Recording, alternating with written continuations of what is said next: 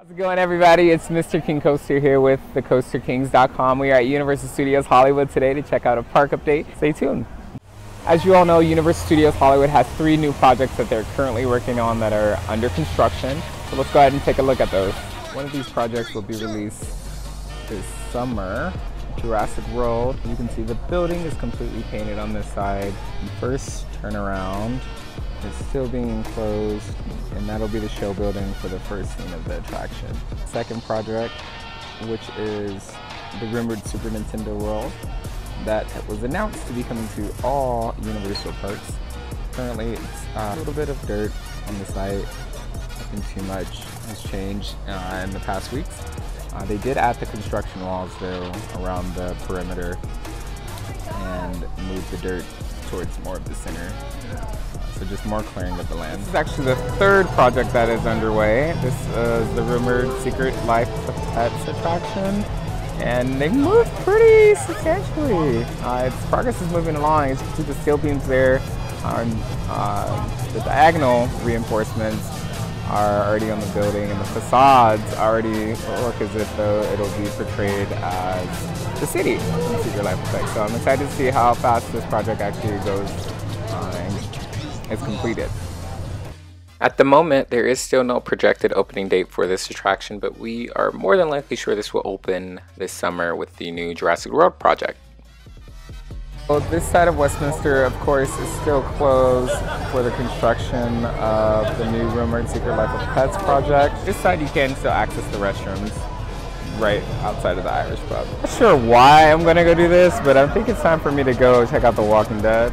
Okay, so over at the Universal Plaza, it is currently closed for the Lunar New Year celebration.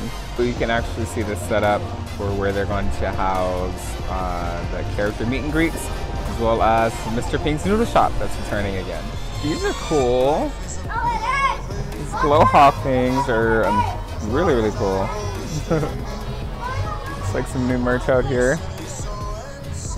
Cool. Taking a break because the park is actually semi-packed today.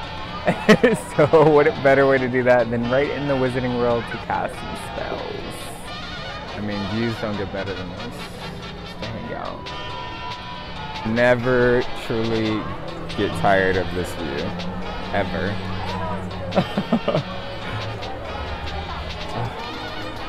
this side of the building is almost all completely painted. Not too bad. Still working on paint for the middle section there. You can see the middle of the building actually being tested to be blue. Uh-oh. Ladies and gentlemen, InGen welcomes you to the interactive dinosaur. The water's back, and if you look back there, you can actually see one of the boats. Uh, it's a little hard to see from this angle, but it's actually gray, uh, which goes towards the color scheme of grass cloud. So so I'm curious, what do you guys think? Do you feel they are going to replace the entire Jurassic Park entranceway right here and change the entire sign, or do you feel like they're going to paint it and repurpose it and just paste up Jurassic World? I honestly feel the latter, to be honest. but I think uh, with the new color scheme that they're doing, it'll look amazing. There are construction walls all the way um, down towards Panda Express in preparation for Jurassic World, which will premiere this summer. Thank you all so much for watching this update at Universal Studios Hollywood. If you liked it, be sure to like it and subscribe if you would like to subscribe.